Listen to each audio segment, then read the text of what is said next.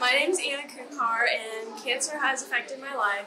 There's a couple people in my family who've had cancer, and it's been really tough, but I've just learned that you have to have faith to get through it. Hi, I'm Naomi Armiston, and cancer's affected me by like one of my friend's moms that I'm like really close with. She had cancer, and it was like a really tough time for like everyone in like the community. Cancer has affected me because both of my grandparents have had it. My name's Tessa Stevenson. I'm a freshman, and my grandma just got diagnosed with cancer, but I'm not. We're not sure what it is yet. So.